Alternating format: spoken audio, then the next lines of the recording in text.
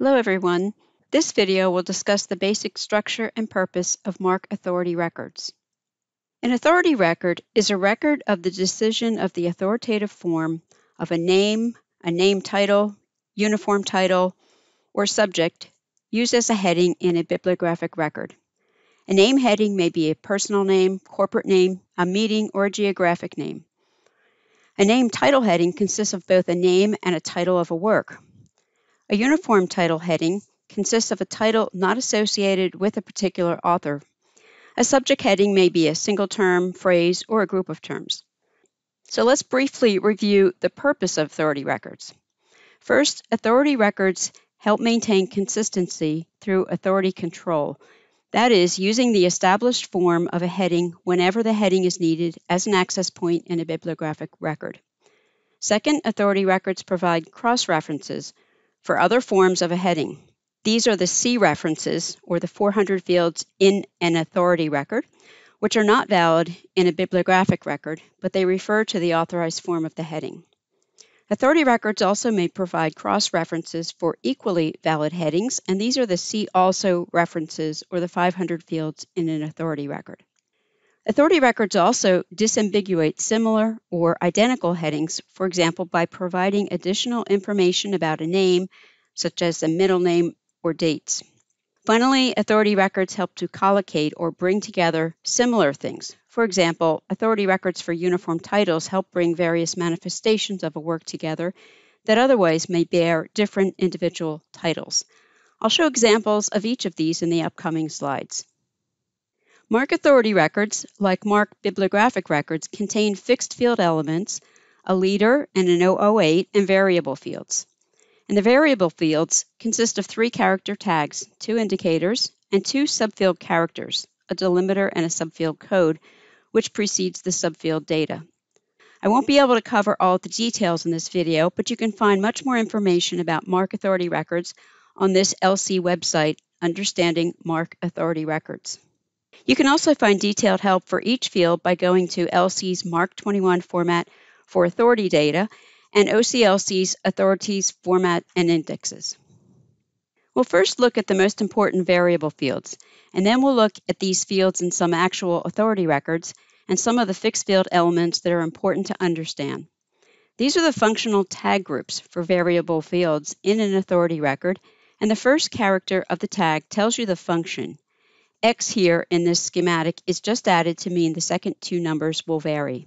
So for the functional tag groups, the 1XX is the heading or the authorized form of the heading.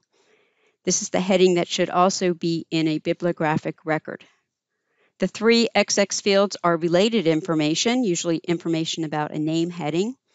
Four XXs are the see references, as mentioned earlier. The five XXs are the See Also references.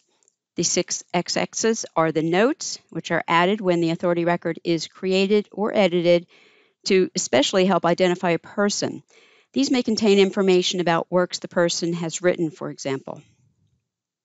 The second and third characters in the tag indicate the specific type of information for the 1XX, 4XX, and 5XX fields.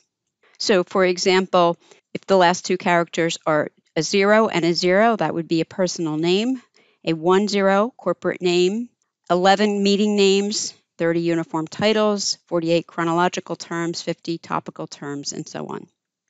So the authorized form of a heading for a personal name would be a 100 in an authority record. The authorized form for a corporate name would be a 110 in an authority record, and the authorized form for a subject heading would be a 150 in an authority record, and so on. This table shows the type of heading in the first column, the authority tag for the authorized form of the heading in the second column, and the bibliographic tags which the authority tag controls in the last column. So, for example, a 100 tag in an authority record for a personal name controls a 100 personal name tag in a bibliographic record, in addition to the 600 field for a name used as a subject and the 700 field for a name used as a name added entry in a bibliographic record, and so on. And by control, we mean that this is the form of heading that should appear in those fields as needed in a bibliographic record. If you're using OCLC Connexion or Record Manager, we say that the headings are control in a bibliographic record when they are linked to their respective authority records. The three XX fields were added to supply additional information related to name headings, which can help identify the correct name. They may include a general 368 for other attributes, a 370 for an associated place, a 372 for a field of activity, and so on. The four XX fields in an authority record are the see references, as mentioned earlier, and they direct a user from a variant form of a name or subject to the authoritative form. The headings in the 4XX field in an authority record are not valid in a bibliographic record, but they serve as cross references to the established form of heading in the 1XX. The 5XX See Also references in an authority record are cross references to a related heading, for example, a broader or narrower term. The See Also references would also have their own authority records in which they appear as the 1XX field. The 6XX notes fields contain general information about the established heading or more specialized information such as citations for a consulted source. This is an authority record for Agatha Christie. So the authorized form of the name appears in the 100 form Christie, comma, Agatha with the dates 1890-1976. And this is the heading that should appear in a 100 or 700 personal name field in a bibliographic record or in a 600 field if the name is being used as a subject. And there are several 400 fields or see references in this record. They're not valid in bibliographic records, but they are in the authority record to refer to the 100 valid form of the heading Christie, Agatha with the dates. This is a screenshot of the same authority record for Agatha Christie showing that there are two 500 fields in this record. And again, these are the see also references. These are valid but different forms of the name. And there would be separate authority records for each of these names as well. Mary West Westmacott and Agatha Christie Mallowan were other names that she used. This record also has several 670 fields, which are notes for the source data found that was used to determine the identity. Typically, notes include references to published works by or about the person in which that form of name is used. They may also include citations to reference works in which that form of name is used, or research notes for establishing the identity. This record also has a 670 Wikipedia note describing her birth name and pen names used. This is an authority record for the subject heading Beagle Dog Breed. So the valid form of the heading is in a 150, which controls a 650 field in the bibliographic record. And there are two 450 see references and one 550 See Also reference. Subfield W in 4XX and 5XX fields indicate the type of cross reference. Codes in this subfield are defined by position. There are four possible positions. Positions that are not used will have N, for the 550 in this example, only the first position is used.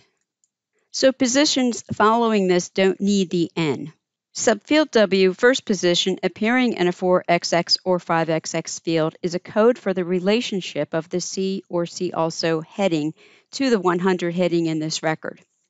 So subfield WG in the 550 field in this example indicates this heading hounds is a broader term than the heading in the 100 field Beagle dog breed. Authority records will also indicate if a heading can be subdivided geographically. This is in the 008 06. A blank means the heading is not subdivided geographically. The code I, indirect geographic subdivision, means that the larger body would precede the smaller or more specific geographic location, for example, California, Los Angeles and code N means geographic subdivision is not applicable to this heading. In this example authority record for the subject heading refugees, there is an I in the 00806, and that means that this heading can be geographically subdivided indirectly. LC Children's subject headings are simplified subject headings established and assigned by LC Children's Literature Cataloging section.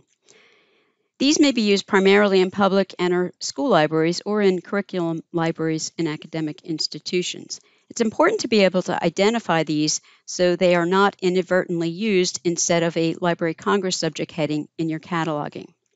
For example, PIGS, the 150 authorized form in this LC children's heading, is simplified from the scientific name swine, which is a see reference or a 450 in this record. But swine happens to be the authorized form in the Library of Congress subject heading authority record.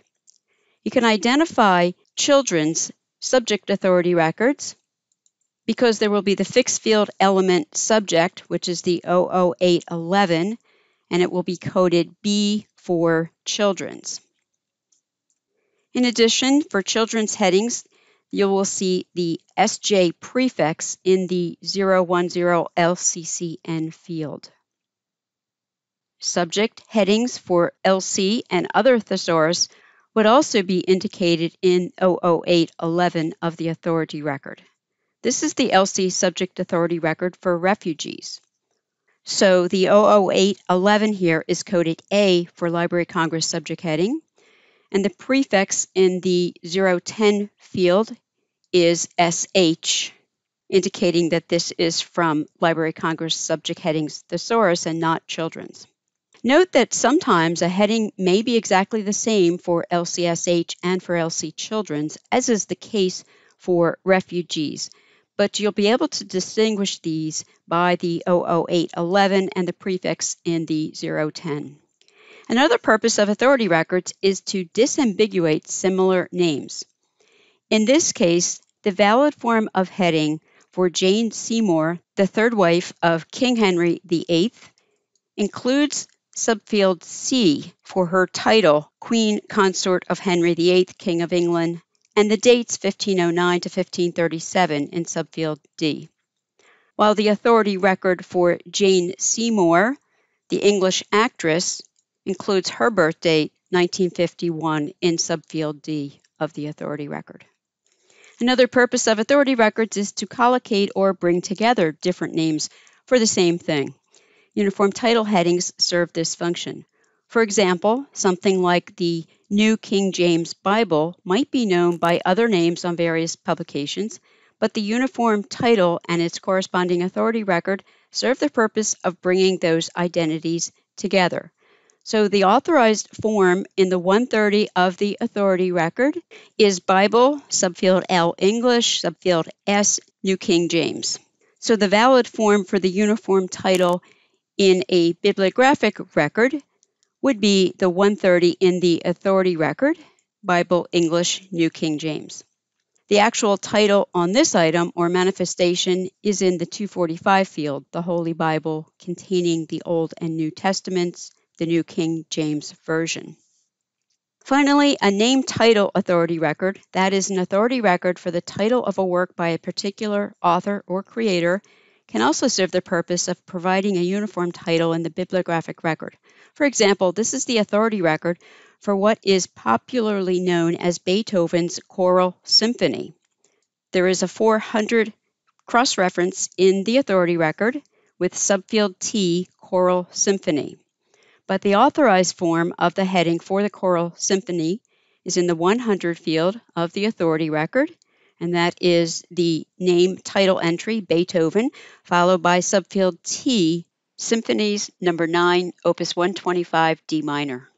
So in a bibliographic record, you would see a 100 entry for the authorized form for the name, Beethoven, and then the uniform title entry in the 240 there for the work, Symphonies number 9, opus 125 D minor. For additional help on working with authority records, please go to help.oclc.org and click Metadata. From there, you can select your cataloging interface, Connexion, or WorldShare Record Manager to get documentation and additional training. You can also click on Contact OCLC Support to find contact information for support in your region. Thanks for watching.